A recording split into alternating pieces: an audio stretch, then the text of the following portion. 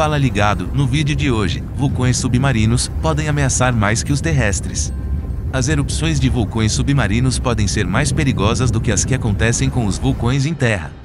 E por vários motivos. O fundo dos oceanos é quase desconhecido, então podem haver muitos vulcões submarinos ocultos, com grande potencial destruidor em todas as regiões do mundo, e nem termos ideia do perigo que está por perto. As explosões de vulcões submarinos podem acontecer de surpresa e serem extremamente violentas. Como grande exemplo temos a erupção do vulcão submarino Rungatonga, no Pacífico, acontecida em janeiro de 2022.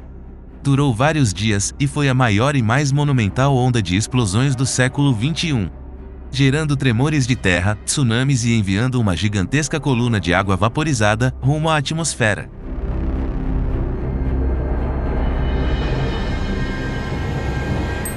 A grande dificuldade de monitorar os vulcões submarinos e prever as erupções pode retardar importantes medidas de proteção das pessoas e tornar a possibilidade de causa ainda maior, já que um vulcão submarino pode causar os mesmos danos que os terrestres e muitas vezes estão colados na costa, próximo a grandes cidades.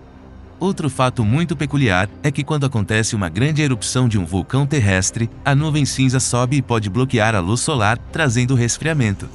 Mas com um vulcão submarino, pode ser bem diferente, e aí voltamos ao Rungatonga.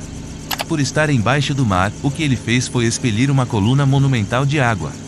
Segundo estudos, quando a explosão aconteceu, a atmosfera do planeta foi bombardeada com 10% a mais de água presente nessa camada.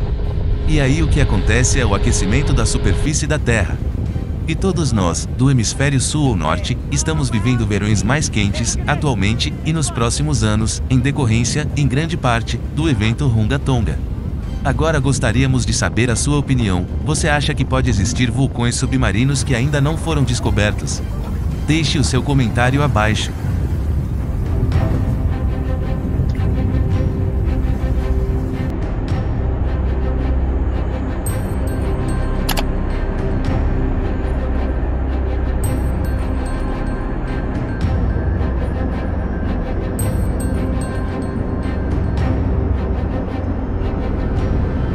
Se você gostou deste conteúdo, inscreva-se no canal, deixe o seu like, ative o sininho de notificações e, se possível, contribua através do nosso Pix ou link de doações na descrição. Um abraço e até o próximo vídeo.